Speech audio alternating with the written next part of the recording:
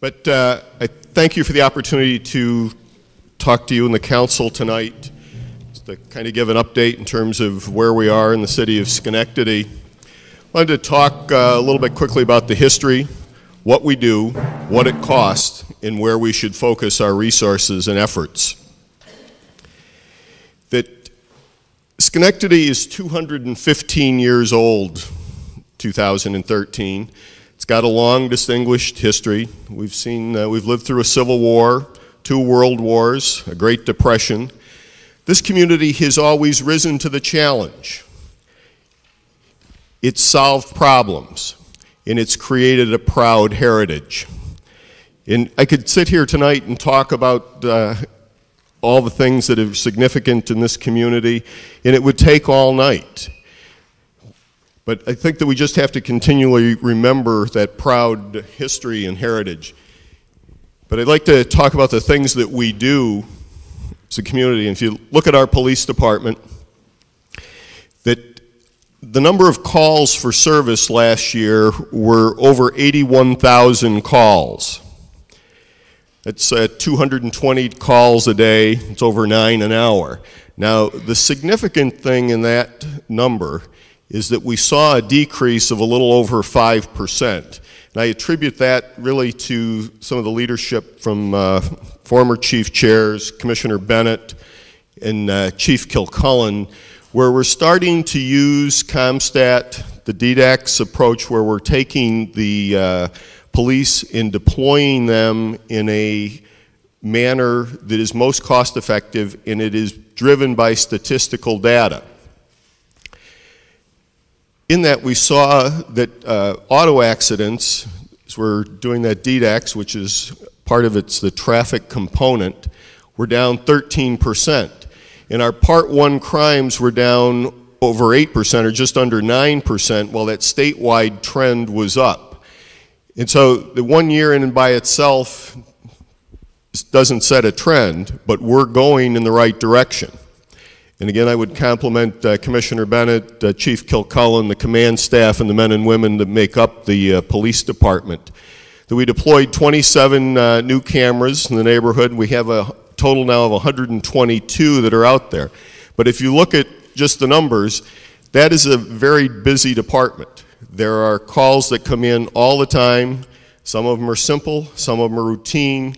A lot of them are very complex that require the deployment of more than one car and a lot of resources from this community. If you look at our fire department, there were uh, 15,000 calls for service in 2012.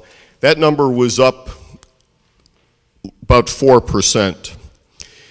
And again, I think as we start to do some of the things that we have done in the police department, and we start to apply these in a more coordinated and comprehensive manner across the city, we'll see some improvement with our fire department, also our code operation. But we have an extremely busy fire department. Of those uh, 15,200 calls, over 64% of them were EMS calls. Of those the 2,300 were for advanced life support.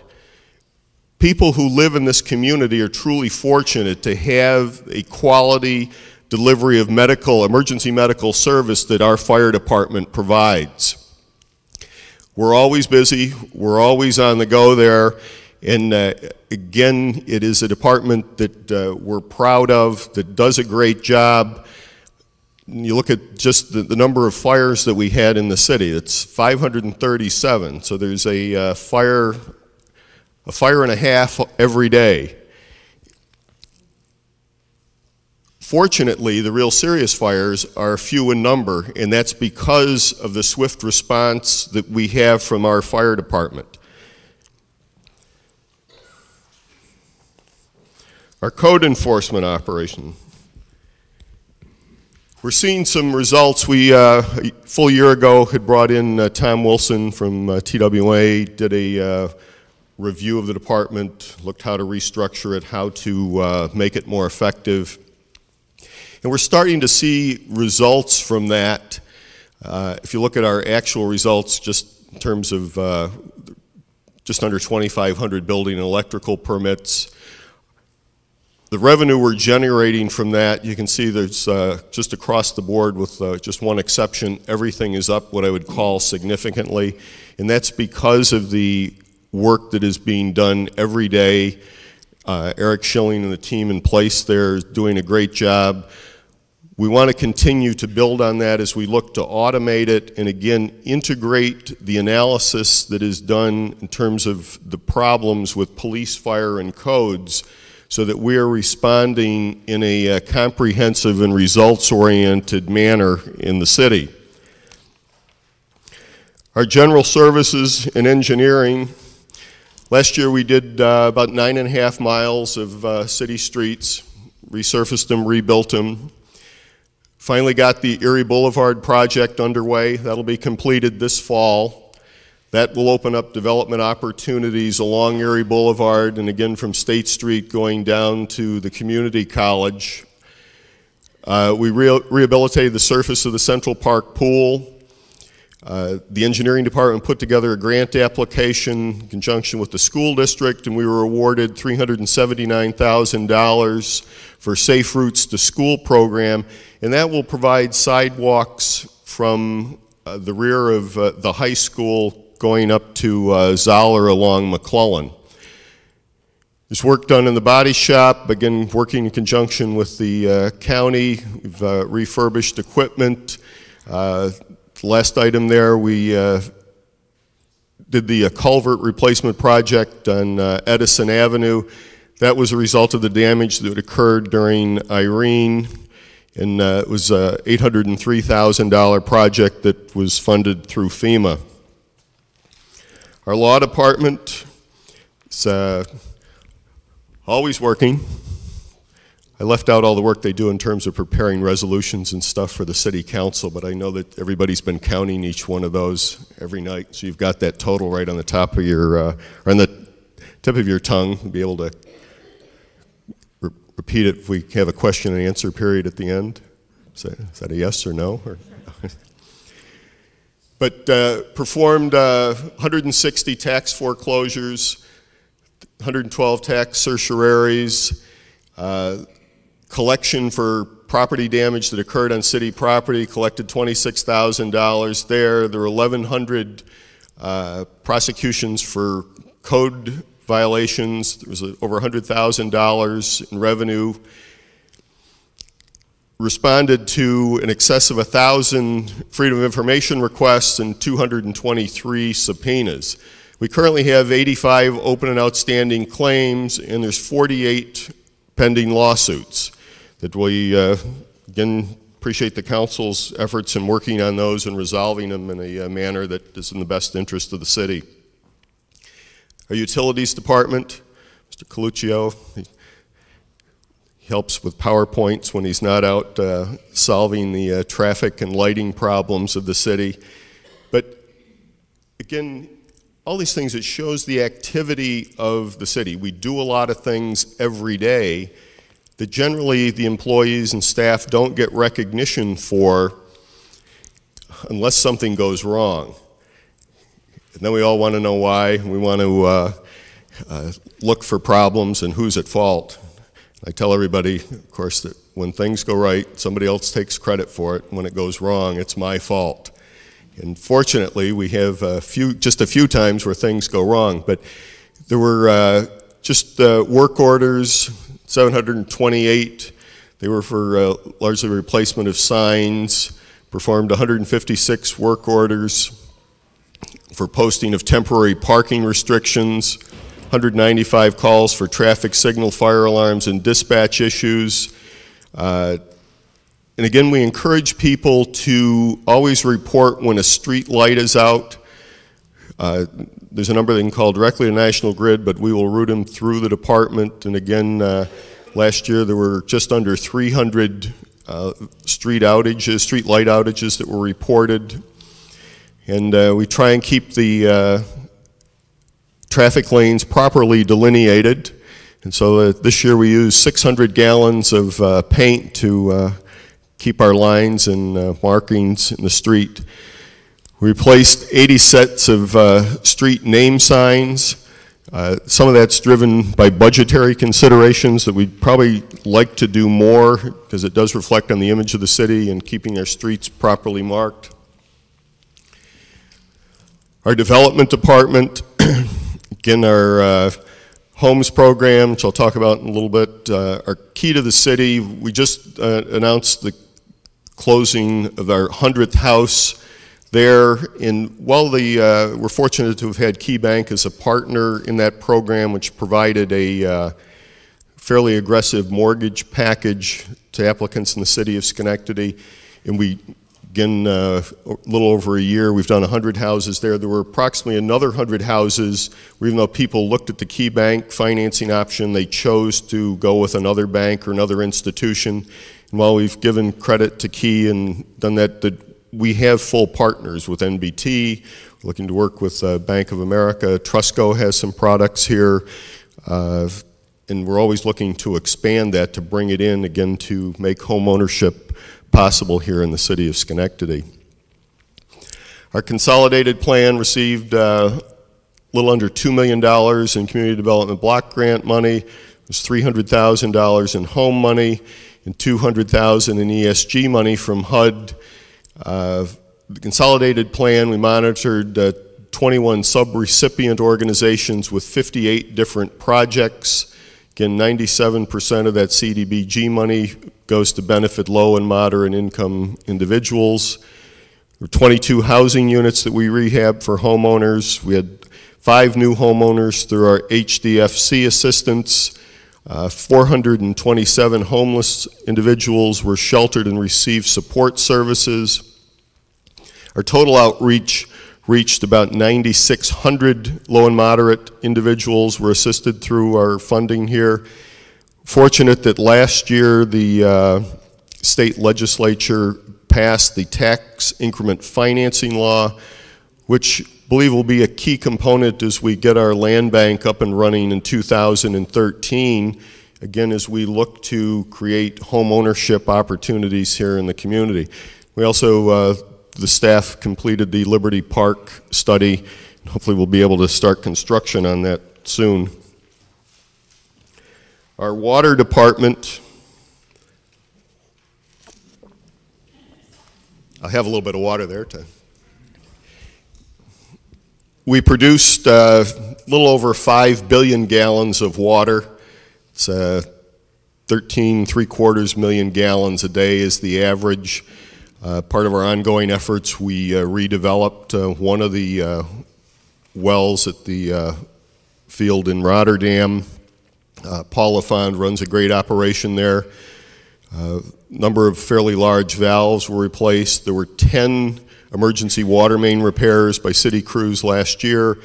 We repaired approximately 50 damaged fire hydrants, and part of the ongoing maintenance replaced 25 old fire hydrants. Uh, installed 30 new water valves and uh, replaced uh, 2,100 feet of uh, water lines in the city. Part of the maintenance operation, that again is done in conjunction, coordination with our street rehabilitation program so that we try and, when we're on a site, do everything at once. Our sewer department uh, maintains 320 miles of sanitary and storm sewers. Last year we had uh, over 3,000 calls for the inspection of sanitary lines and removing blockages and other specific related problems. We responded to 2,700 requests for locations through the Underground Facilities Protective Organization where people are doing construction, other work. We will come in and mark our uh, pipes that are underground so that when people are digging, they don't hit it or damage it. And uh, our uh, the 538 truck, as it's referred to, responded to over a thousand calls for assistance. That is a crew that will go out and put up road barriers, uh, other emergency things at after hours. It shows that there are things always going on in the city, and when it happens, we have the uh, people and resources that are able to deal with it. We inspected uh, 48,000 feet of sanitary uh, and storm sewer systems. That's part of the ongoing maintenance. Again, we camera that, we do that in-house so that we can determine where there are problems, defects, and try and stay ahead of uh, major problems. Our wastewater treatment plant, which was the uh, first year that we brought it back under uh, city operation, uh, pleased to report to you that when we finally close out the books, relatively confident that our overall savings will exceed a million dollars in 2012. And again, our uh, cogeneration facility there where we're uh, burning the gas that is created at the plant and generating electricity, that saved uh, about $280,000 in electrical cost. It's a uh, big facility. It is a regional resource and asset because it serves not only the city of Schenectady, but Glenville, parts of southern Saratoga County, and some in Rotterdam and parts of Niskayuna. It's uh, 4 billion gallons. Uh, it's 13.2 million gallons of wastewater a day. Uh, all that was done where we met all the regulatory requirements and we had no permit violations in 2012. Again, Paul LaFond and his team there do a great job. Our uh, finance department, I'm uh, again pleased to report to you and relatively confident that we will close out the books. I can't quote you a number because they're still doing uh, some of the accounting, but we will have a modest fund surplus in our general operating account for 2012. But again, the finance department is always active. You, know, you think of the uh, budget preparation, some of the more high profile things that they do on a day to day basis. But the routine things that are done there, payroll checks, uh, uh, processing of purchase orders, other things, uh, the uh, number there we collected 51% of the property tax liens in 2011. It's a number we want to continue to work on, look to improve. Sometimes we've uh, talked on an ongoing basis about you know, going to a biweekly payroll, and there's uh, contractual uh, issues with that, getting everybody on board with it to actually make it work. Uh, we're moving in a direction where we're going to, I think, have the same results by being able to email individuals their stub for their paycheck, individuals who sign up for direct deposits. This was the first year that we emailed W-2s to employees. We've got uh, 600 employees, 67 people signed up for it. So I would encourage members of the council who haven't taken advantage of that to consider it.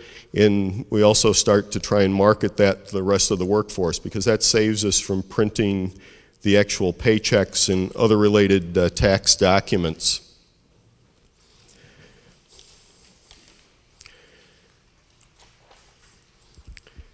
Look at our 2013 uh, budget.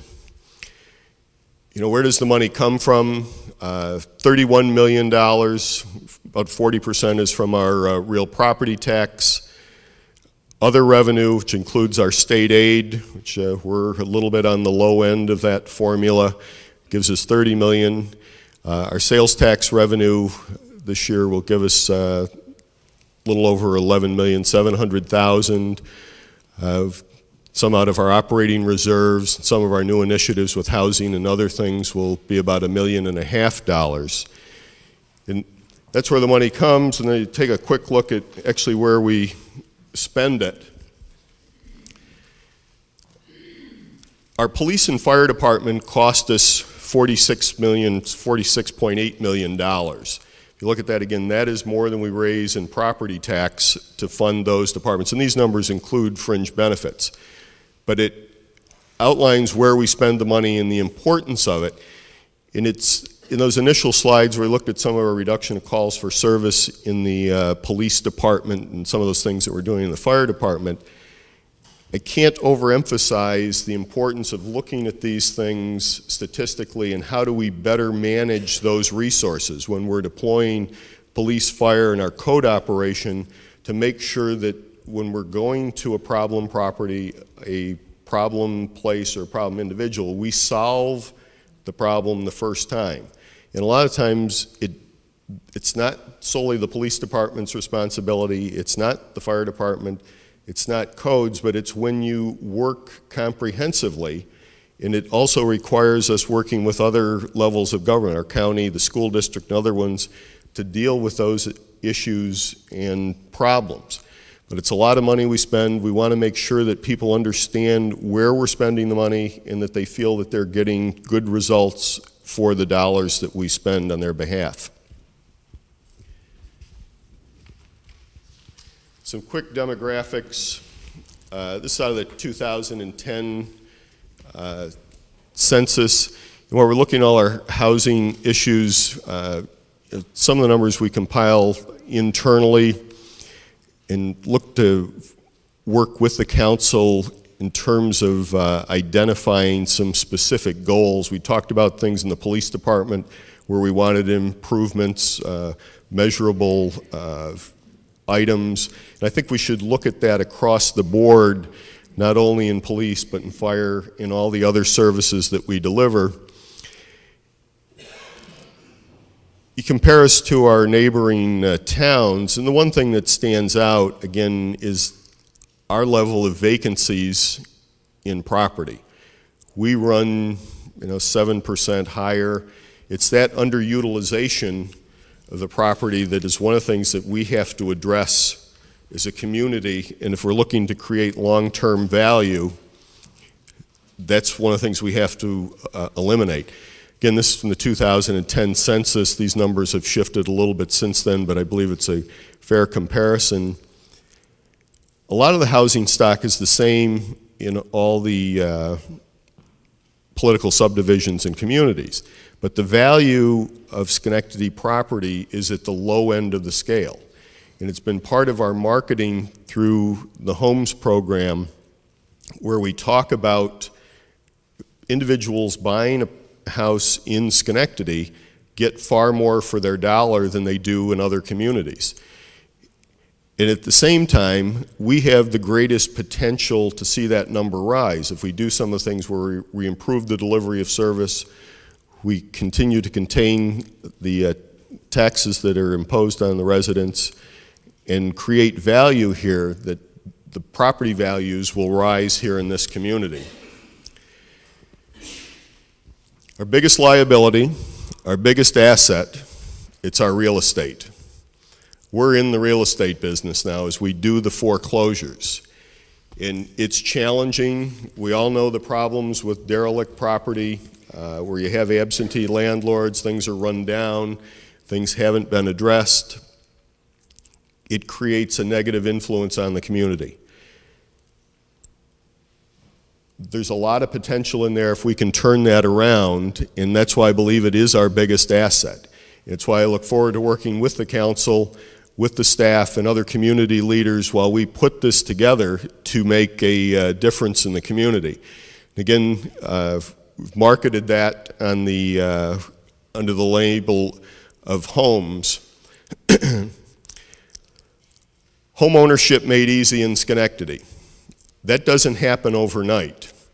And this is the umbrella label that uh, have been using, want to continue to use. And we have to look at all the things that are the components of home ownership. How do we improve on those? How do we do them in a more cost-effective manner? How do we just make it easy for people to live here? How do we make this community more attractive than other communities? You know, we've done the uh, financing with uh, Key Bank where they had an aggressive mortgage package. We have other banks that are coming up. We have to look internally in terms of our uh, permitting process, our planning processes. How do we do those things that make it easy for people and create a friendly atmosphere here for, to buying a home, to maintaining a home, and just again adding value in this community. It doesn't happen alone. It's, again, it's a community. So some of the responsibility is clearly mine. Some of it falls on you as members of the City Council.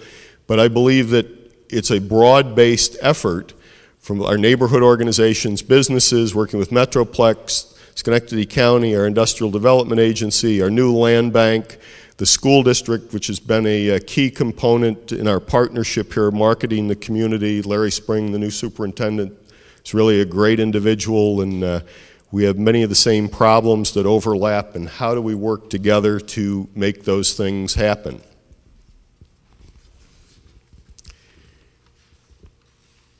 It's a multi-year effort. We have to have just steady incremental improvements. And really, our best game plan is just to do it house by house. We've seen the downtown turnaround, uh, but it was by building by building. We're doing that now. We talk about the 100 houses that were sold through Key to the City, uh, another 100 houses through other financing mechanisms. We now have 150 properties that we own. We'll take another 100 and some in the next round of foreclosures. We have to go out and market those and bring people in to deal with the properties. And a lot of them, again, are distressed properties, so they're not easy deals. They're complicated. We have to uh, work through them. We have to uh, find innovative ways. We have to have people of vision. It's what I call we're looking for urban pioneers people who want to move into Schenectady, want to be part of the turnaround of this community, want to, again, take their place in history while we do innovative and exciting things. We're going to get real long-term results. It won't happen overnight. You know, we talk about downtown. Uh, that's been a full eight-year undertaking, and there's still a lot more to do in downtown. There's a lot to do in our neighborhoods. And I look forward to uh, working with the uh, members of the council to uh, make that happen, to uh, build a uh, track record that if we go back to the first slide, will uh, mark us down as a place in history that when they look back at this period in time, they said, you know, wow, those people did what was right. They made a difference, they worked together, and they made things happen. And so I thank you for this opportunity to talk to you uh, tonight. Look forward to working with you and uh, do appreciate your consideration, the time and efforts that you put in on behalf of the city.